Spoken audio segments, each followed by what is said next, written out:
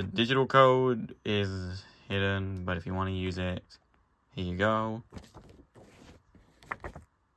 And I also have Shrek on DVD and Madagascar on DVD as well. So feel, feel free to use the code.